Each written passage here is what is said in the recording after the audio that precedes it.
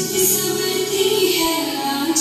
तेरे इश्क की मैं हकदार नहीं, तेरी हीर तो धरती है आज। तेरी मिट्टी में मिल जावा गुल बन के मैं खिल जावा तुमसे मेरे दिल की आरज़ू तेरी